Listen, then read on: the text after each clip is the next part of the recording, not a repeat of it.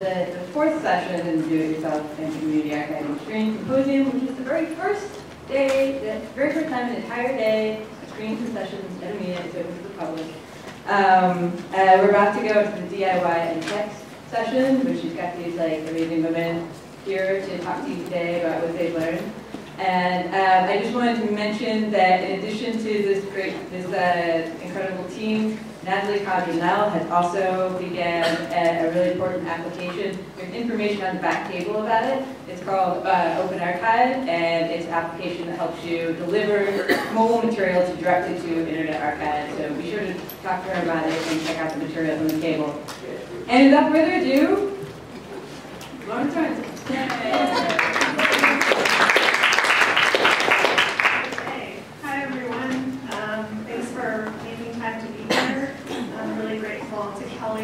And and all of the collaborators here for um, thinking about joining and really working hard to get this session together.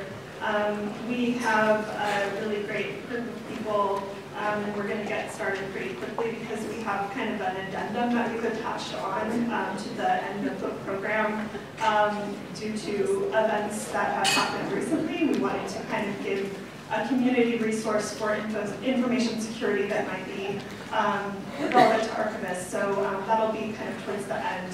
Uh, and so I wanted, without further ado, uh, I will introduce our panelists. Uh, Rachel Mattson currently works as the manager of special projects in the archives of La MaMa Experimental Theater Club and is a core member of both the Transfer Collective and Librarians and Archivists with Palestine. Much comrades are here. Uh, Nicole Martin is the Senior Manager of Multimedia Archives and Digital Systems at Human Rights Watch. She teaches digital preservation as an adjunct professor at New York University's Moving Image Archiving and Preservation Program. Uh, Dinah Handel is the Mass Digitization Coordinator for the New York Public Library, working on large-scale book and microfilm digitization initiatives. She is also a member of the Transfer Collective. Transfer Collective represent. Uh, Kristin Lipska is a project assistant at the California Audiovisual Preservation Project, CAVPP, since 2013 and holds a Master's of Library and Information Science from San Jose State University. And without further ado, I want to introduce Rachel.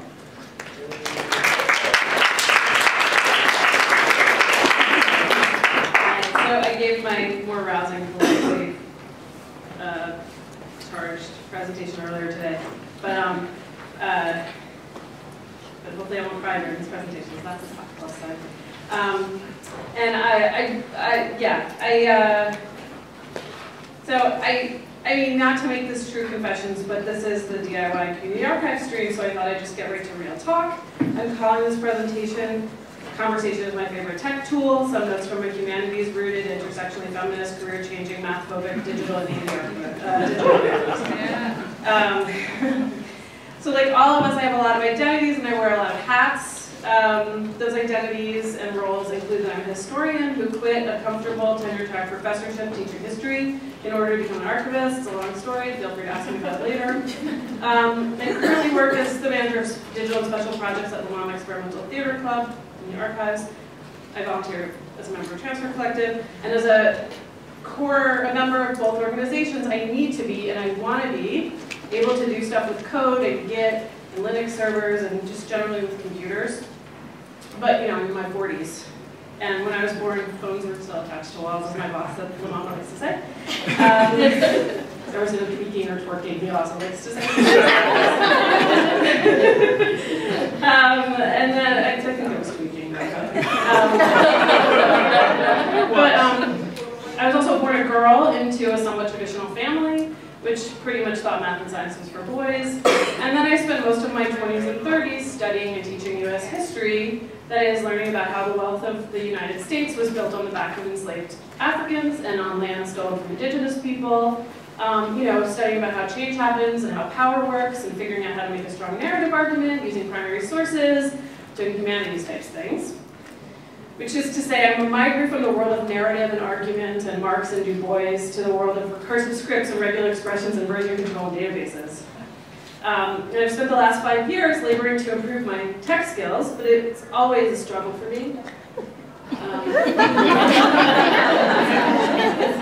yeah, it's always a struggle for me. um, um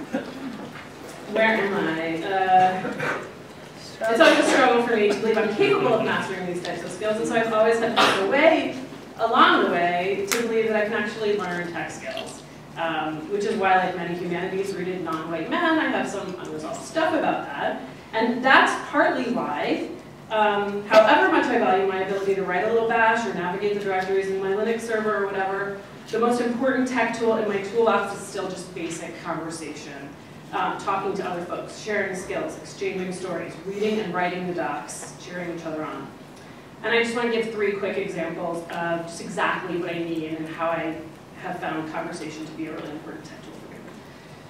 So first, as I mentioned, I'm a member of Transfer Collective, as Carmel Curtis um, mentioned in her plenary talk yesterday. Transfer is an organization that provides low-cost analog to digital transfer services for small arts and activist organizations. Um, we also offer trainings and consultancies um, for small organizations struggling to manage foreign digital materials. I mean, that's what we do, that's our mission. But there's another less public service um, that the organization provides, which is that we serve as a hub for emerging archivists to learn new skills. Um, we use what I like to call an intersectionally feminist horizontal mentorship model, where we all learn from each other in an ongoing, non-hierarchical, non-judgmental, structured way.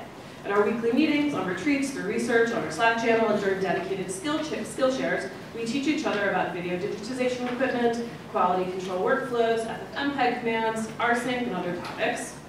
Without this kind of horizontal mentorship, I would be a much less competent professional, not to mention a much lonelier human. And this is the part I don't want to live stream on, if you don't mind.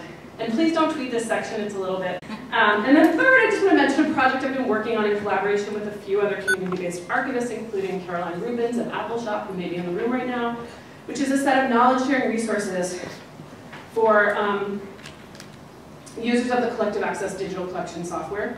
Um, although collective access is technically open source software, the user community hasn't really functioned like an open source user community to date, and we all suffer as a result. So I worked with a whole bunch of other collective access users over the past couple of years to establish networks for horizontally to communicate with other users.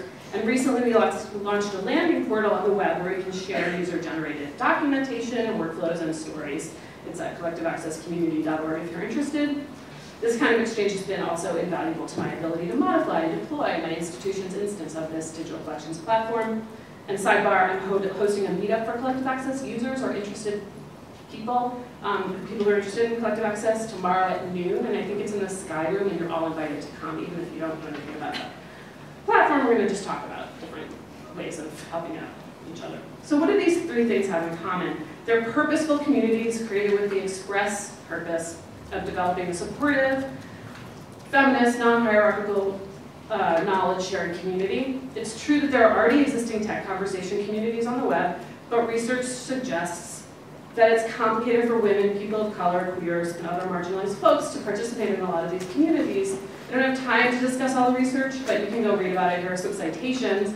Um, I'll just note that Philip Woe has um, conducted a study that um, revealed that women participate in much lower, there, women on Stack Overflow forums are there in like in 20% of all users are women, but only 5% of commenters are women, or, or, question askers are women there. And then uh, James William III and Jolanda um, Pieta van Arnhem likewise found that librarians of color um, often, quote, want and need someone who they feel is approachable, with whom they can identify to ask questions learn from. and so in short, I just want to say, you know, like, there are already existing communities like this, but I think um, it's good for us to think about how we can support or you know, um, at least understand and appreciate that these communities exist and that we um, have, a, that we continue to support a wide range of curated, supportive, intentional communities that can support conversations about tech.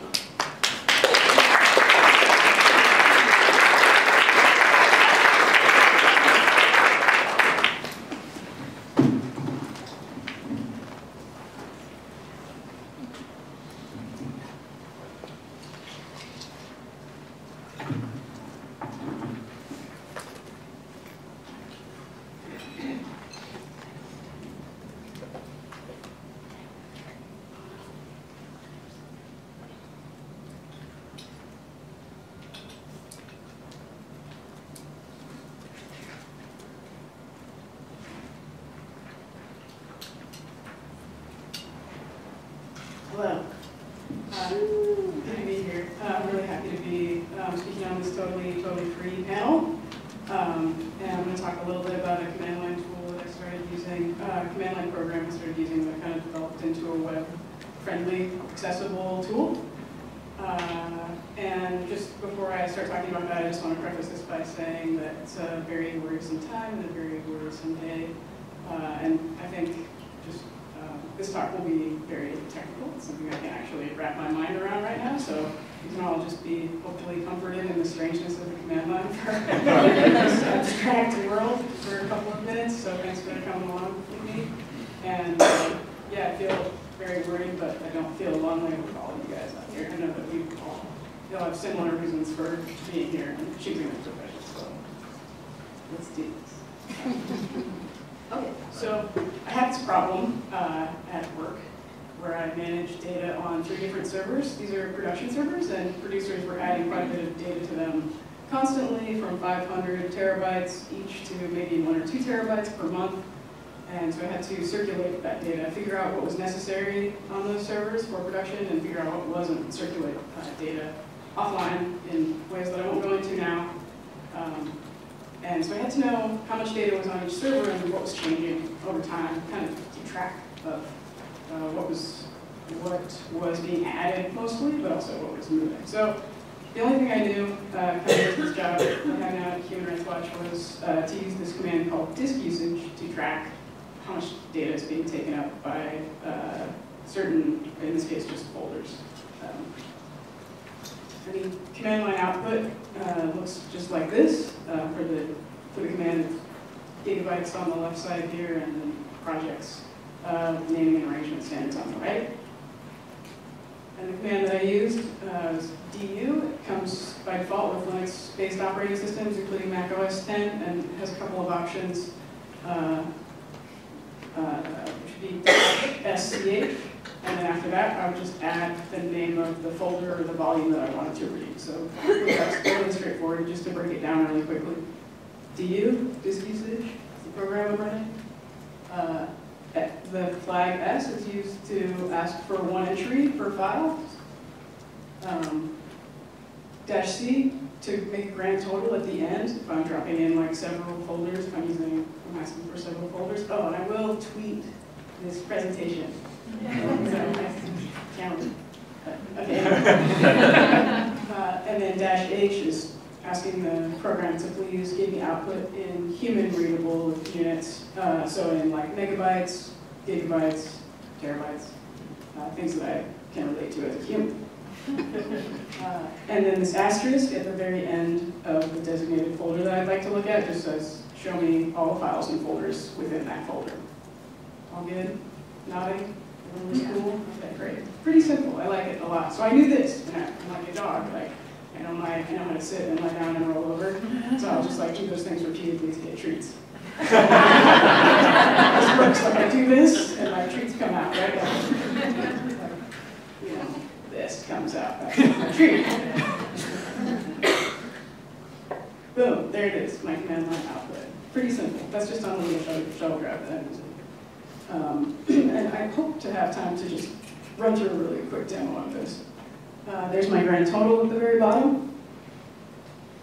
Uh, again, the, oh, and then, okay, then I had this other thing, right? Okay, so I figured out that if I wanted to take that command line output from the terminal and send it anywhere other than, you know, like, just, it would only leave the terminal unless I, I uh, output those files to like, or, sorry, the command line output to like a text file somewhere. So I just dump the command line text file, or, excuse me, I would dump the output from this command into a text file onto the desktop. So there I have it. It's a report now, a tangible text file with that information. All right, that's what it looks like. Uh, and the little arrow for a standard output It's like that designation. Pretty simple. So now my output is a text file. Okay, sorry, it took me a long time to get there. There it is. Um, and then I realized, okay, great, I have a text file. That's readable uh, in a web browser, like HTTP can render a text file and we can see it. I could use this uh, text file and uh, drop it into a designated folder within Mac OS 10. That's the, the folder that's used as kind of like the rally point for uh, being a web server, uh, and I'll show you where that is. Um, basically, if you just turn Apache on on your computer, uh, if your net, if your computer is networked, and you drop a text file into this designated folder, you can uh, make a query in a browser, query that file, and boom, it pops up anywhere on your network.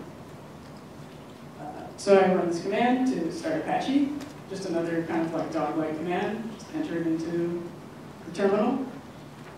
Boom, Apache starts. Cool. Here's the designated folder uh, in Mac OS 10 if you'd like to host a web page from your computer. Just library, web server, documents, have a report for it on my computer, use it all the time for all kinds of command line reports. So again, this is kind of just like a little journey where I'm like, okay, here's some ways that I could uh, sort of manipulate this technology that I know how to use um, to create this tool. And it could be used for any kind of you know, command line reporting. There it is, the folder. And there's my output. Output.txt just dropped into the folder. Does that make sense? Everyone's cool, nodding, everyone seems totally good. Okay. So there it is, hosted in a web browser. My computer's name is Arcturus. Uh, so if I write in arcturus.local into my browser on any computer on our network, my text file appears. Um, I would have to do like arcturus.local forward slash output.txt, you know, name the file itself, and that's it. Uh, I have, I this tool. Um, so this is for, this is what it looks like, the, the tool that I'm using at work. Um, that's the way it looks for all three servers. And so I use this, um, you can set up a, a daily job that runs, you know, once in the evening, uh, to make this output. And that's it. And I'll just do it really quickly in the command line while we're all here. Um, you have four minutes. Okay, great. I can do this in four minutes.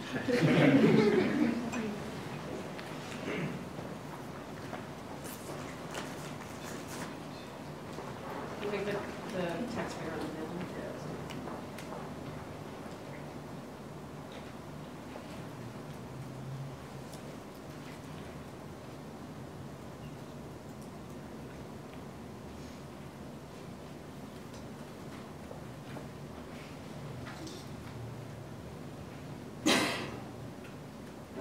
a handy little application that I've been using lately. Um, if you, if you want to do demonstrations for people, uh, it's great. It's called KeyCastr. It's an open source program, and when you type, it just uh, loads. Okay, cool. Yeah, the letters that you type show up on the screen. Oh. Okay. You just made it worth it, Nicole. Okay. Thanks, Ivy. Yeah, no, I kept this one in my pocket. Okay, so disk usage du uh, dash sch. And I'm gonna type in this little shuttle drive. So in Mac, this is under uh, volumes. This is a little USB drive that I plugged into my computer. And if you hit tab, it like, oh wait, not yet.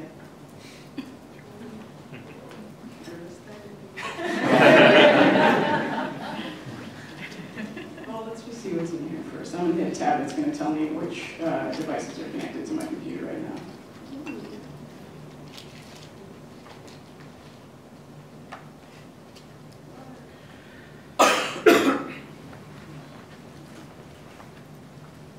Anyone?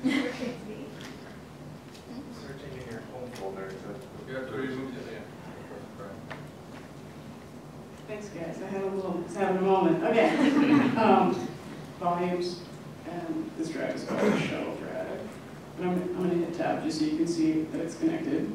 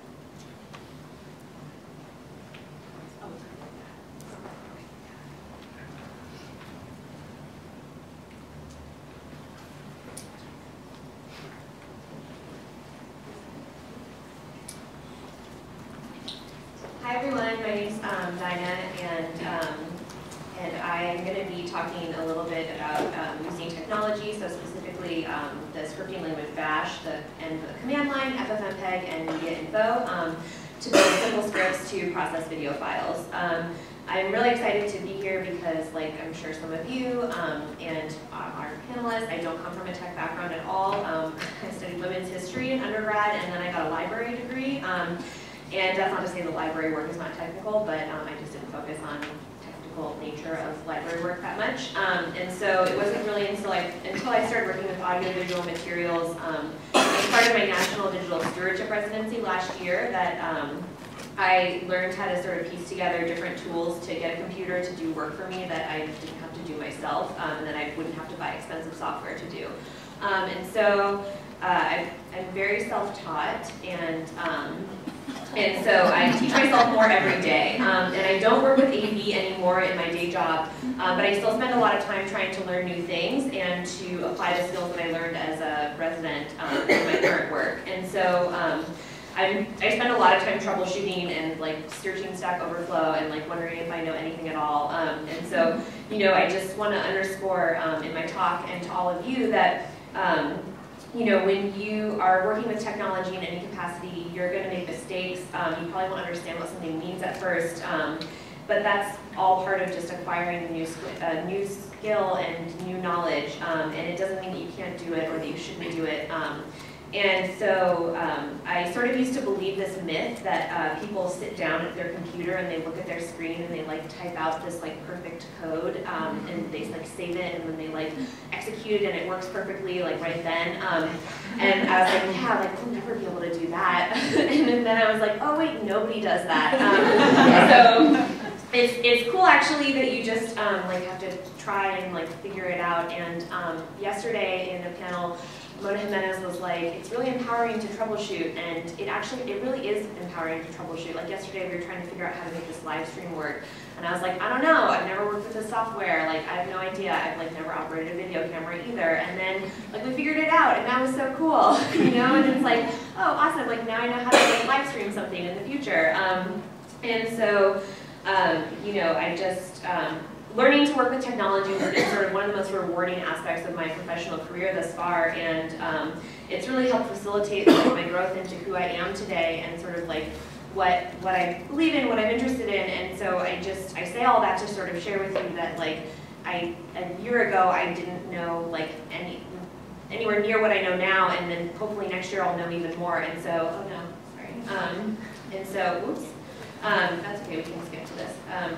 So in the next few minutes, um, I'm going to talk about a framework that I use um, to approach creating and writing scripts, and then sort of break down into the script that I wrote that's sort of like a packaging script for audiovisual files um, that creates an access copy and technical metadata and packages it all up into a single directory. Um, and I'm just going to go sort of break it down line by line because I think when you're learning a new thing, and when I was when I was learning Bash, like the first thing I did was sort of sit down and my boss, Dave Rice, was like, oh, just like try and read this and like tell me what you think it's doing. And so by learning how to read it, I sort of was able to see what was possible to do with the language. And so um, that was sort of like really helpful. So I'm hoping that maybe by like us breaking down this script and going through, it might be helpful for you too to see like what what Bash does. Um, and so I just want to start off quickly by talking a little bit about this concept of microservices. Um, this gift has no meaning. It's just very, it's being really relaxing. and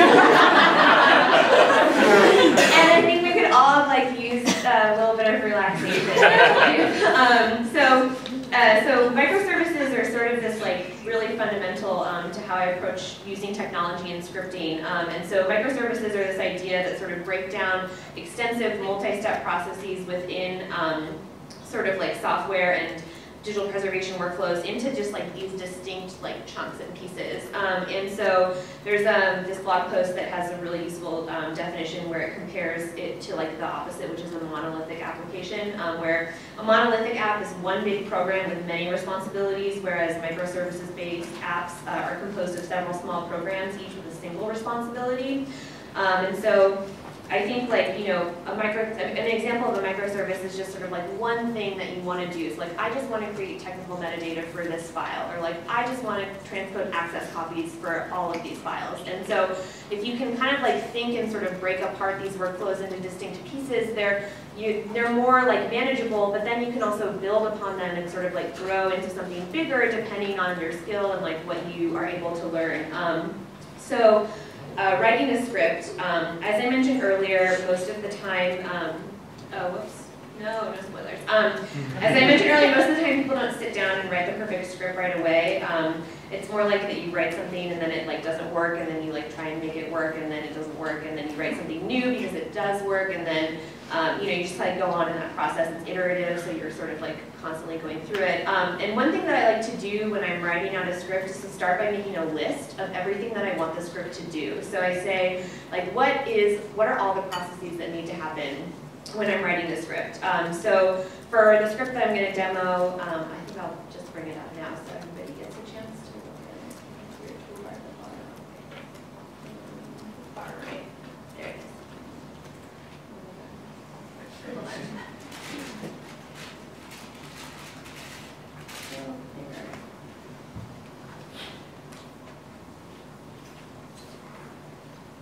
Okay. Hopefully that's better for everybody. Um, uh, so, so I start with a list. So, um, so for this script, my list is um, goes like this. So I want to be able to input one or many files. You know, it's not really that useful if you can only do it one time on one file. So I want to be able to put in a lot of files and just like let it go, you know? Um, and then I want each file to be moved into a directory called video files. And I want to create an access copy that's also in the directory called video files with the word access appended to its file name.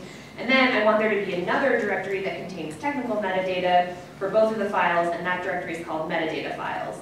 And then I want both of these directories to be in one directory named after the file name of the file that I input. And I want checksums to be created for both of the video files, and I want those to be stored in a file called checksum.md5. And then I want all these packages to be written to my desktop. Um, so now that like we, we sort of have our list of what our needs are for this script, um, and then we can start building it. So um, we're going to look at this script and I'm going to sort of try and break down each task. I don't know what, like I can't do a temperature check right now, so I don't know who's like, this is boring, I already know all this stuff, and who's like, well, I don't understand any of it. So hopefully this is useful to some of you, um, maybe all of you, maybe none of you. Um, but so um, I'm writing in Bash and that's for um, a math, but um, you you can obviously write scripts in lots of different languages, that's your own choice. Um, and so I, uh, we, because we're writing in Bash, we need to tell the computer that that's the language that we're using. So we write this little message at the very top where there's an exclamation point and then in Bash right there. Um, and so that tells the computer that we're writing in the language Bash, so you need to interpret everything in here in that language. Um, and so that needs to go at the top of the script. And then, um, oh no, sorry. Um,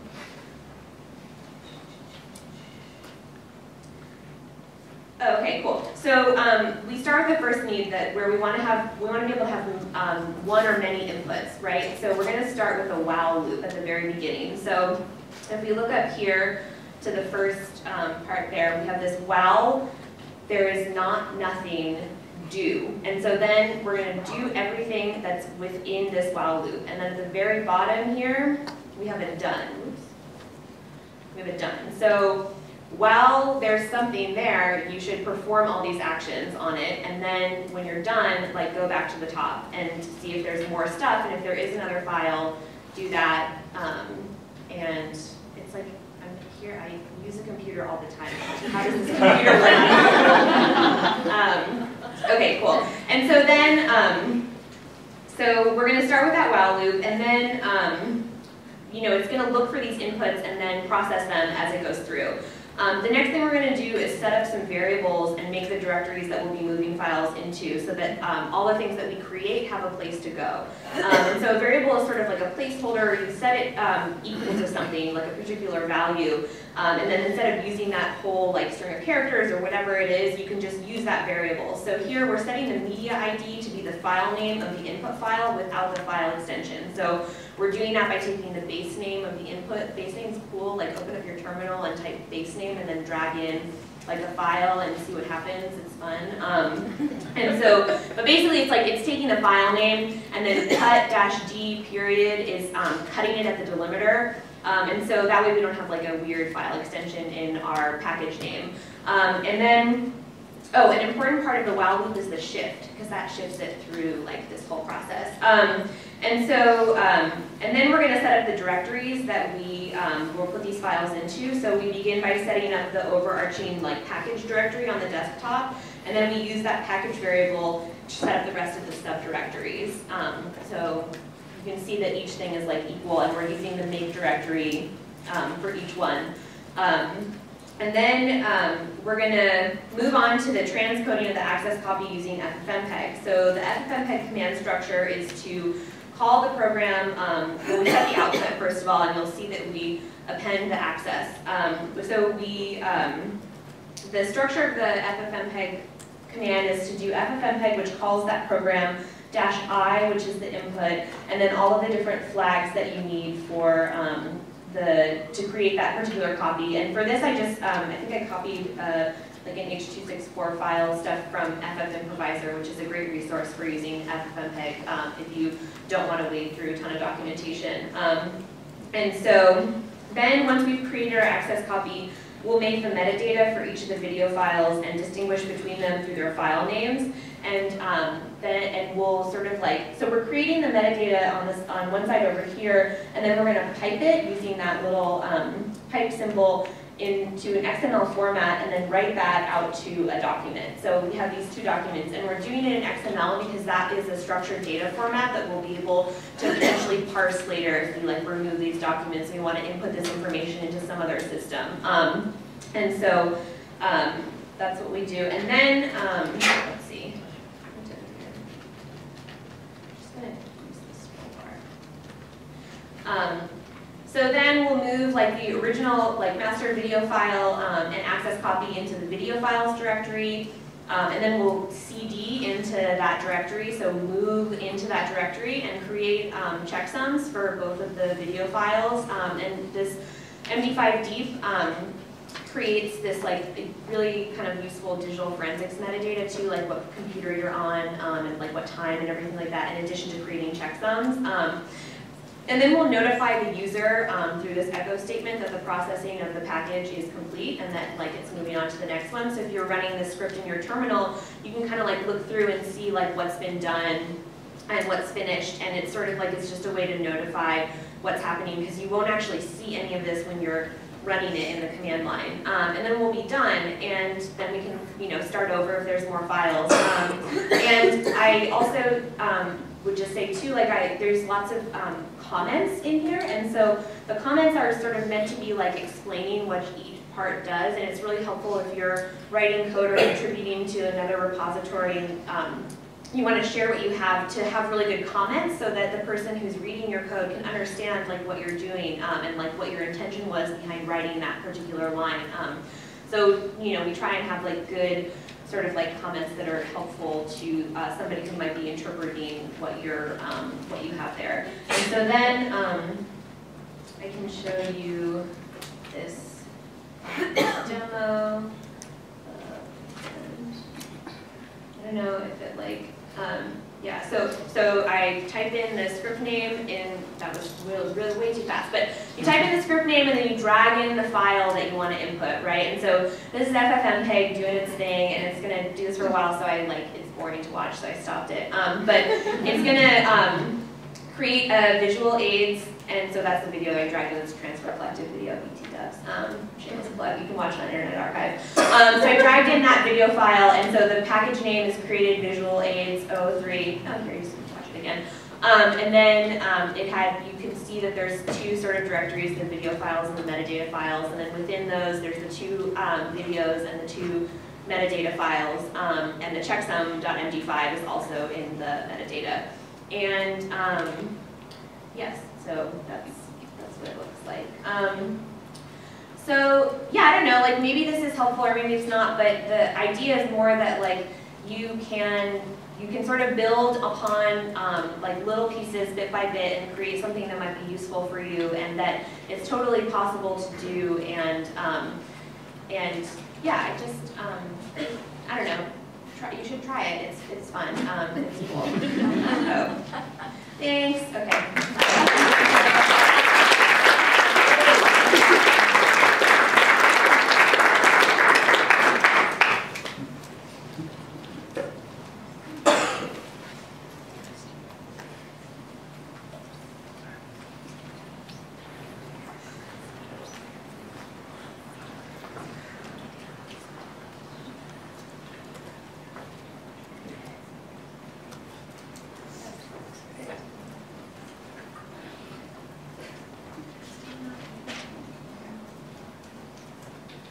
Hi, I'm Kristin from the California Audiovisual Preservation Project. Um, is a collaborative project. We work with libraries and archives across the state to digitize their audiovisual history, um, but we outsource the digitization to vendors. And so um, part of our job involves student quality control on the digital files that we get back. And one step in the QC process is confirming the files meet the prescribed technical specifications. Um, and we have a script for that. It's called Verify Media. Um, we use it to check the tech specs of files that come back from the vendor. And I'm going to talk a little bit about how we came to commission the script um, and how working with the developer helped me to get familiar with some basic, but I think increasingly essential technology tools. And then I'll do a little demo of script. Um, so to briefly orient you, this is an example of how the files come back from the vendor. Um, they're grouped by partner institution and all files for an object are in a folder together and we have preservation and access file states for each recording. Could you possibly get the microphone a little closer to Is yourself? this better? Okay? Just and It's a big room, that's all. I'll Thanks. speak louder. Second? Um, So initially, we were checking the technical specs by using MediaInfo or Media Inspector to um, display the technical metadata and then visually scan to make sure it matched our specifications. So you can see our target specs are on the left, um, and the video preservation specs are highlighted, and then on the right, uh, Media Inspector is displaying the technical metadata for a video preservation file. Um, so obviously, this process takes time for each file, and it's possible for people to miss things. Um, at some point, I heard about a free tool for automatically checking the technical specs called MDQC. It allows you to set up different templates, and I tried it out with, by creating four templates for our four file states. Um, but in testing the templates against our files, I we would also need additional templates for videos with or without an audio track and mono or stereo audio files. Otherwise, a video without an audio track, for example, would fail the check against a template looking for certain audio specifications. So we would need at least eight templates. And we don't know which files would need which template by just looking at the directory. Um, and it wasn't, we didn't want to rearrange our whole file structure based on these technical specifications. It's much more useful for us to arrange the files by partner because we work with so many partners. Um, so we didn't end up adding MDQC to our workflow, but exploring it as an option gave us the idea that we might be able to create a script to automatically check our technical specs. So we asked our colleague Dave Rice if he could write a script for us. Um, I ended up managing this project, I think primarily because I had the most interest in using scripts and similar tools, but not because I had any uh, prior skills in this area.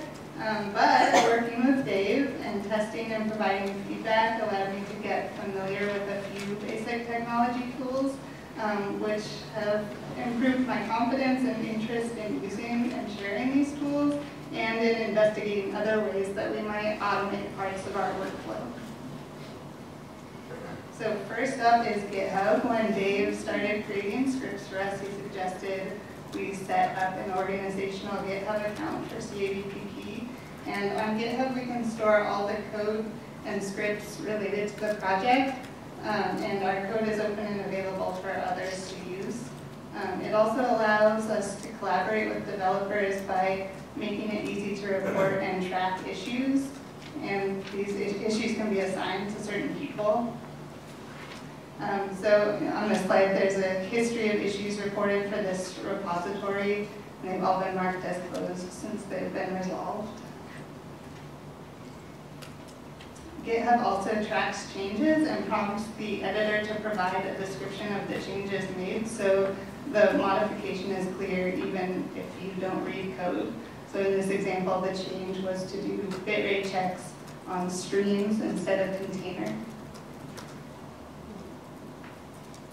And with this particular script, which mainly just checks the technical specs, um, it's fairly easy to see what is going on in the script. Plus, Dinah mentioned um, comments, which Dave used and that really helped me to see like what was going on in the script.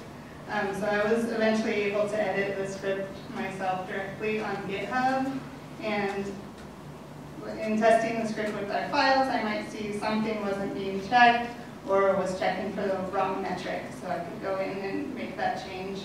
Um, in this example, I added a line to check that the sample rate of the audio access files is for 4.1 kilohertz, and I adjusted the streaming bitrate that the script is looking for. And I'm mentioning this to let you know that the script is available on GitHub. You can fork it to your own GitHub account and modify the technical specs to check for your own files. Dave also asked us to download Homebrew, which is used to install and update the script by pulling the current version from GitHub. And I found Homebrew to be very user-friendly. This is the homepage of their website. At the very top, it tells you to copy and paste this text into Terminal to install Homebrew. and I now, know, I now know the basic install and update commands. Um, of course, in the process of trying to get the script installed on all the computers in the office, I encountered errors. So over time, I've learned some very basic troubleshooting skills from sending errors to Dave and seeing responses. Um, but Homebrew is also pretty helpful in this regard. There's a brew doctor command, which checks and reports if anything seems wrong. And the error messages also often include command, suggested commands that might help the problem. So I'll often just type whatever it tells me it thinks I should type, and that often fixes things. And last I want to mention the shell, which is available on Macs through Terminal. I use the shell to run, I've used the command line to run other scripts, but I hadn't used many shell commands before, but in using this script and others, I started to learn the syntax, um, which I found usually takes the form of the basic command or calling the script, and then modifiers preceded by the dash, and then the path to target files or folders. So for this script, um, we have the name of the script, then the dash S allows us to select one of the four profiles, and the dash V selects verbose mode, which displays everything that was done. Um, in this case, checking the specs checked and their values. And one helpful thing to know is that typing the name of the command will show available options. So here, I've typed verify media and it shows the available modifiers. And I found Shell is like a really powerful tool for finding and moving and copying files among other things. So uh, recently I've learned I can use it to find all of our Access and Beauty Core files on a drive and move them to an upload folder where they all need to be together for us to use the Internet Archive upload script, um, which this sounds like a really small thing, but it's going to save us tons of time. It's way faster than going through the Finder and like manually moving a hundred files.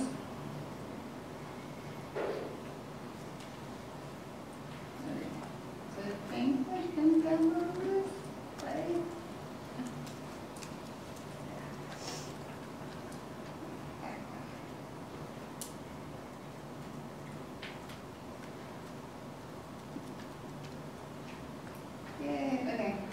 so this is a demonstration of the script. Um, I'm checking the audio access files. So typed verify media dash S, AA dash V, and dragged in all of the MP3s. And it returns, this is verbose mode, it shows you everything it checked, and if everything is green, it means it all passed.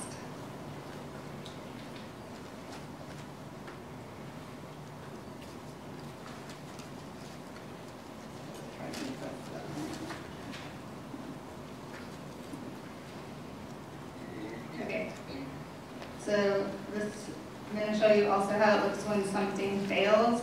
I'm checking some video preservation files here.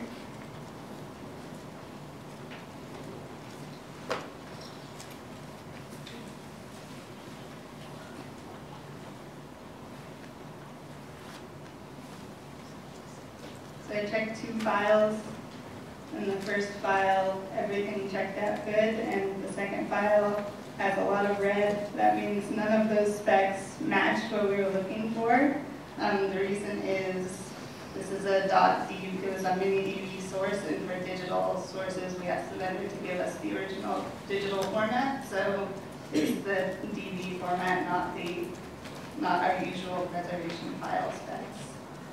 And so this script works with just the four profiles, which match our file types.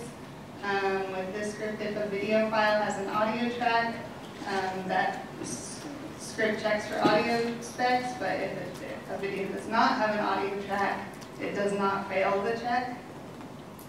And for audio files, the script checks for stereo specs. Um, if the specs are mono, it will fail, but the verbose mode allows us to see the failed specs and check that they are correct for mono. And this failure also prompts us to confirm that the source is in fact mono. Thank you.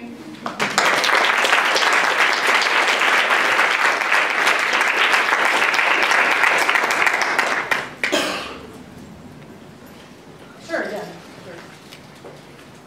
We have ten minutes? So we should do this quickly so we can make some questions too. So we just, we talked the other day about just scrapping this whole panel, posting our presentations online, just doing a privacy and encryption and data security workshop, because we feel like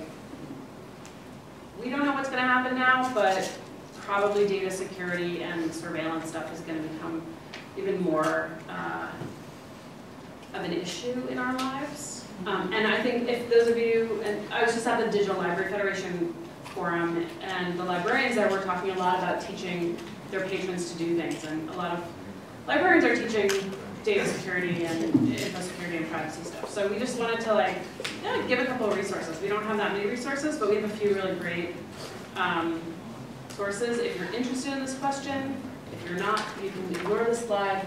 But if you're interested in learning more about uh, the project, the difficult project of um, securing your communications and your data um, and encrypting stuff, um, these are some good resources for you to use. That's sort of it for me. Things.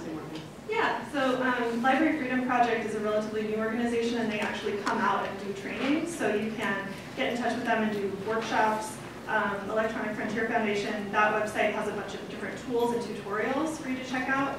And we also have a Google Doc that's shared. So you can go to this Google Doc if you have any information security kind of resources that you want to share with the community. Um, we really, you know, kind of encourage that. Uh, and uh, the, the bit.ly is listed right here. Um, So we wanted to encourage questions because I know this is a pretty technical panel. So uh, if anyone has any questions, please let us know. Time is now. Lauren, Yes. Hi. Hi. I had a comment. Um, I just wanted to mention I'm going to be talking about Open Archive tomorrow, which is the Internet Archive's first mobile application that I had built, and it also goes over Orbot, which is Tor for mobile, and so security is a huge part of my project as well. What time? These are sister projects that are awesome. It's at 2 o'clock in the Hope Room, Okay. and uh, like half my presentation will be about the threat model for archivists and the communities they serve, and dealing with the privacy issues that we've been made aware of thanks to uh, the others noted. Thank you. Does anyone have questions? Yes, in the back. Um, I did want to ask, um, this is for uh, Dinah Handel. Um, Can you speak a little can't, I can't hear you. oh, sorry. Um, uh, the media info code that you're, that you're showing, you know, Sublime Text, um, is that available in some form? as Yes. uh,